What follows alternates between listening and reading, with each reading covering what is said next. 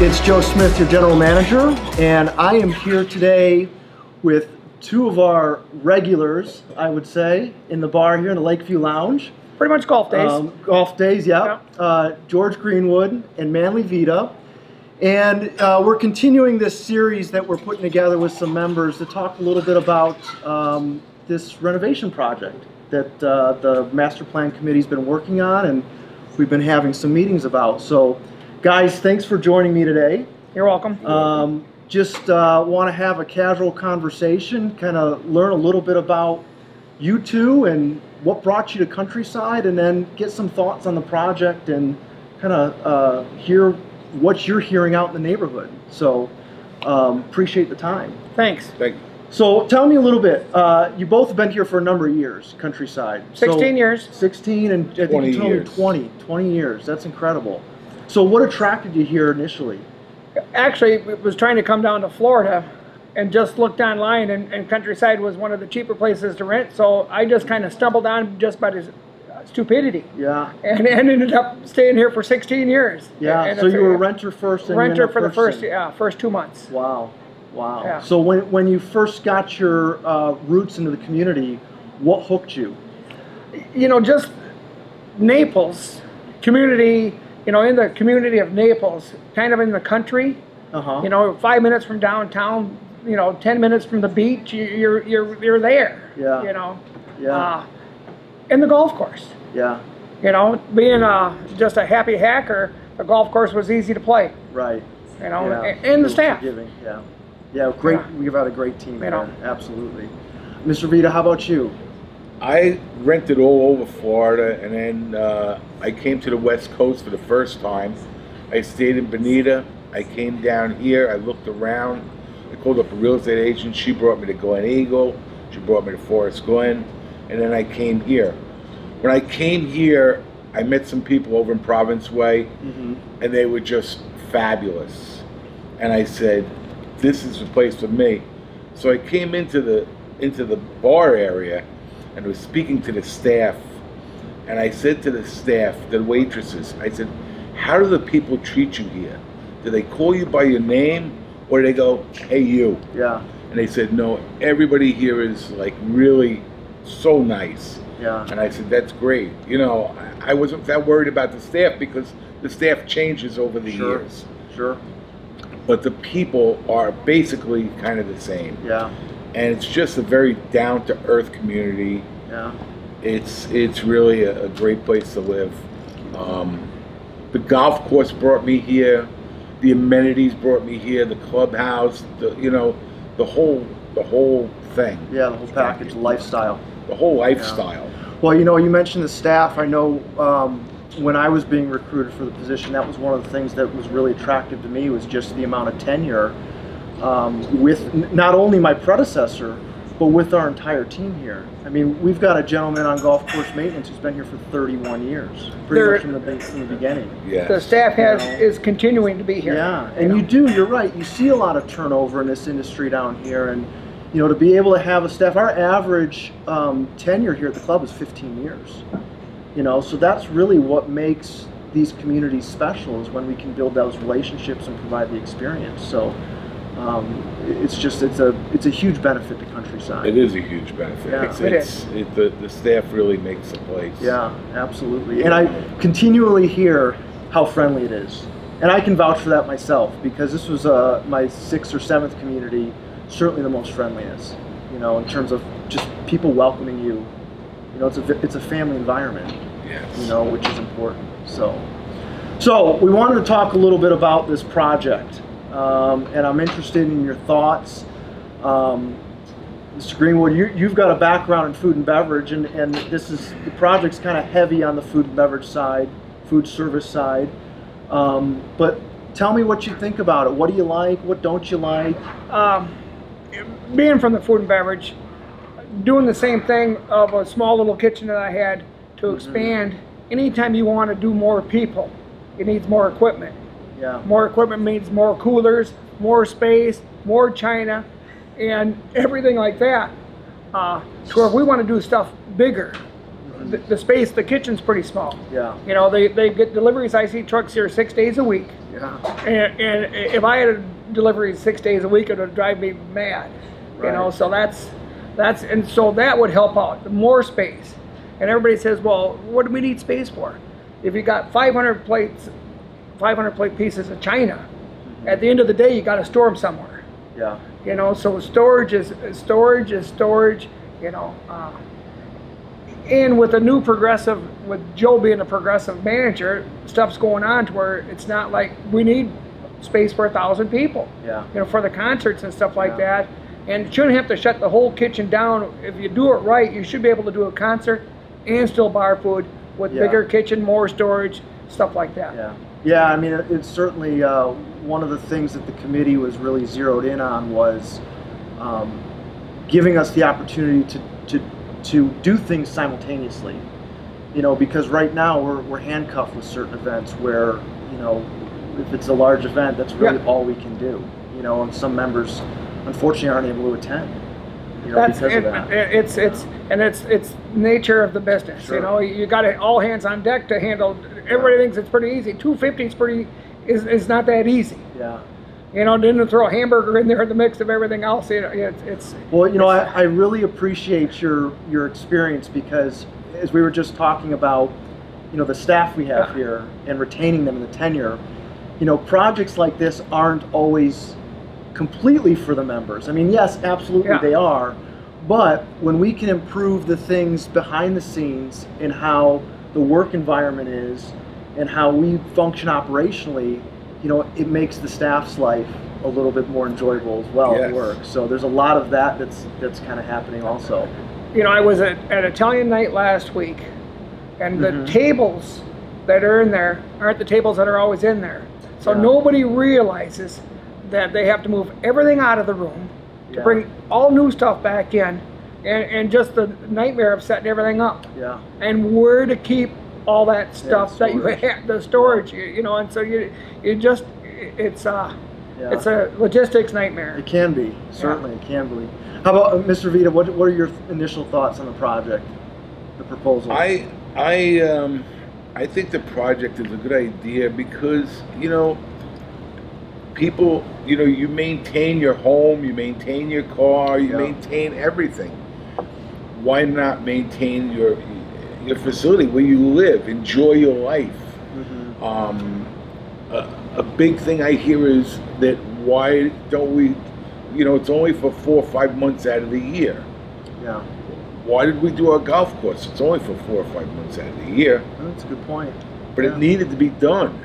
You know, if we want to keep up our property values, this is the time to do it. Yeah, If we had done this five years ago, we'd be spending two thirds of this money, you know, or maybe even less. Um, it's just, it's just a, uh, it's just a, a good thing for the, for the whole place. You know, it's going to give us more things to do. Uh, the pool area with the bar area, I think that's going to become a destination spot where you can go, go hit some balls, have lunch, maybe have a cocktail. yeah, It's you know, and have the pool there, and have a look out at something nice. You know, uh, you know, me being a not a young person, but not an old person. You know, sometimes when you think about the older traditions, the older people like things simple. Mhm. But people who want to buy now want something a little more extravagant. They want something a little more, not extravagant, but up to date. yeah, And it's just going to keep our property values moving up yeah. as they have. And, and I think it's just a great thing. well, I think about um, like not necessarily extravagant, but modernizing Modernizing. not only the look and feel of the club, but also the style of service and what we're able to offer. Um, you know, you mentioned the, the pool and the pool bar. Um, you know, essentially one of the things that the project allows us to do is we're providing, we would be providing three unique dining venues, each with its own menu, each with its own style of service, each with its own look and feel. You know, the pool bar area would be very casual, you know, shorts and, and t-shirts and you know, flip flops, and then you have the dining room, which is a little bit more upscale and, you know, a, a, maybe a larger menu there. And then you would have this space, which I, I want to talk to you guys about this space too. But this would be your typical grill bar type, you know, um, um, you know, experience. So you've got three unique venues, which is you know something that we don't have today. That's And that's something that we really need because a lot of people. I come in here every every Monday, Wednesday, and Friday and Sunday, and I have lunch, and people tell me there's no hot dog on the menu. Yeah, There's no this on the menu. There's no that on the menu. I says because the menu would be like ten miles long. yeah, yeah. I says you know they serve it. You know they'll make anything Right. you want. right. But you know, if you're not, if you don't know, then you're not gonna, you know, you're not gonna ask for it. If we have the different places, you know, you can have your grill room mm-hmm. where you have your burgers and your, all your stuff, you know, and you can have your fine dining or your dining room where you can have your dining, and then you can have your outside tiki bar where you can have your bar food, Yeah, and it's just gonna give you a great range of choice to where you want to be. yeah. I mean, essentially, you think of it like this: you could come to the club three times in one day and get a different experience every time. Yes. dressed in any pretty much any attire. Sure. Yeah. You know, so you got the beach wear, so you could, you know, you, we've all been in the dining room and people walk in with the wrong attire. Sure. There's a there's an outlet for them now. Instead of telling them they have to leave, there's Yeah. at least an outlet. Yeah. Uh, we've always been looking for more outside dining. Yeah. So the grill area is going to have an outside dining area. Mhm. The bar is going to be a little bigger, kind of a horseshoe, to where you can, you know, more of a type sports bar that that every place else Yeah. is. Let me ask you about that. So we're, we're in the Lakeview Lounge Yeah. right now. Um, I talk with you guys usually a couple times a week Yeah. in this room while Yeah. you're having lunch. Yes. So, you, so you're familiar with the bar. Um, what are your thoughts on the redesign or the proposed redesign of this area with the circular bar? the circular bar. I mean, that's that's the the thing. I mean, you've got a view, so everybody can get a view Yeah. of, of the golf course, and that's the whole side. Uh, I don't, you know, the bar stools are always full, yeah. so y you better get in early, or else you don't get a bar You've stool. only got a dozen of them. you know, to where that's it, it seems to be a popular spot, and, Mhm. and and so that's that definitely needed uh, some attention there. Yeah. And the and the horseshoe bar with with everything and the TVs, and you know, it's going to be a great sports bar or something like that. Yeah. Lend itself to just a more social environment. Right. you know, where you can talk to people across the bar Yeah. and be, you know, have that more social atmosphere. And that's what, and, and after golf, that's what everybody's looking to do anyway. Yeah. You know. So, um, I wanted to touch on too is with anything of this magnitude, when you start sharing some uh, proposals and you know talking about uh, what potentially could happen, you certainly don't have everyone in support. No. Um, so I'm curious, you know, from you two, what are you hearing from some of your peers? Um, what are some of the questions? Um, you know, what are some of the concerns? I know there's concerns out there. For me, it's the pool area. You know, everybody says, George, they don't use the pool now. Mhm. And I said, there's no reason to go to the pool. You know, I said, if you put a big pool in there with uh, laps and everything, it's going to be a destination. Yeah. You know, and so people are going to pack up their kids and everything and come down, and it's going to be busy. It's going to be because it's going to be you're going to have a grill room there. You're going to be able to spend the day there, uh, and right now, all it is is just a pool. Sure. There's no activities. There's there's not going to be nothing there, um, and it's kind of if the old saying, if you build it, they will come. hmm Uh, so that's about the only thing I hear is uh, over the pool. Yeah. Uh, you know, the money's the money. Yeah. You know, it's a ten year it's a ten year plan to spend the money. You know, everybody's putting money into their units, Mhm. so the ten year it, the ten thousand dollars for the, the cost is over the ten years is is Yeah. in my opinion pretty minimal. Minimal. Yeah. You know. Yes, uh, I agree with Mr. Greenwood. It's it's it's uh, it's definitely the pool area that I hear. Uh, I know the pool needs a lot of renovation, Yeah. It does. our yeah. existing pool, Yeah. and I know that the cost is way up there. And if they renovate the pool, they're going to have to do the patio because they're going to have to Mhm. pull up to dig up the lines. I mean, I'm in construction. I, you know, they're, they're not just going to come in and marble dust the pool and be done with it. Right. They're going to have to do new lines. They're going to have to do this. They're going to have to do that. So they're going to have to pull up the patio anyway. Yeah. You know, so it, it's going to be a big job to do the pool. It's it's not just a you know a, a minor repair. Yeah. So why can't we take that money and invest it in a new pool, and we can have something nice to look at? Because right now nobody comes to the pool because it's a square pool with a hot tub. Yeah. Everybody has one. We Yeah. all have one. Most do. Most do. Well, you know, everybody in a in a In the condos, in the condos and, and verandas. But but you know, the thing is that if we have some place to go and hang out and you know have a soda or a beer, or you know, go to the range, Yeah. you know, have a burger or whatever, it's a great thing. Well, and Um, you know, one of the things that we just as our normal course of business, you know, we have to as the, as the management, we have to protect our assets. You know, so like you said, the pool is an asset. So regardless of if we touch the pool, there's still about a hundred thousand dollars of deferred maintenance that we have to just put into the hole in the ground. And then, as you mentioned, when you start looking at that, you know, you start talking about the decking and the fencing and, and the stuff that surrounds it. I mean, we're, we're into the existing pool probably 300 grand um, just to maintain the asset, which it's our duty to do that. You know, so um, when you're talking about those numbers um, and you know the proposed project that surrounds that area, um, like you said, do you just invest in, in enhancing it? Another thing I've I've heard about is you know why are we expanding? Why are we doing this? The clubhouse, the the um, the existing dining room only holds about 220 people. Yeah, We have an event nine times out of ten. If you don't get there the first day or the second day, Sold it's out. sold out because 220 people are basically 10% of our population in Mhm. countryside. Mhm. So 10% is really not a lot, you Yeah. know. And we're going to pick up a lot of seating. And uh, it's just, I think it's a good thing. Another thing I hear is we're going to be closed for a year and a half.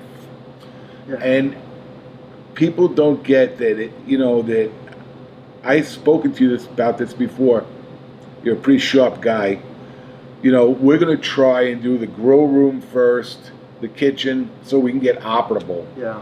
within the first, you know, certain amount of time. Yeah, the idea would be that the, the project would occur, you know, consecutively over, you know, call it 12 months, but we would look to open certain areas before the entire project's complete. Um, and then even, we're still working through all, all those logistics, but, you know, even during the massive portion of the project where the kitchen's completely down, we would have some sort of food service available you know, it would be limited um, just because of the nature of things, but we would not completely shut down.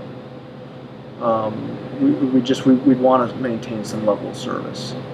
So That's a good thing. yeah, I, well, I think it is because, you know, as you mentioned before, one of you said, you know, it's, it's for four or five months a year. Well, there's a number of residents who are here 12 months a year. Yep. You know, and we're always, you know, managing that, and you know, we still have to provide a, an experience, you know, those other eight months. You know, so You know, we lived through the golf course renovation. yeah, You know, we can we can do this as a community. Yeah. You know, yeah. uh, you're progressive enough that you'll have food trucks here, you'll have stuff here, and you're yeah, we're and- putting some and- plans yeah. together now. Um, It could be really fun.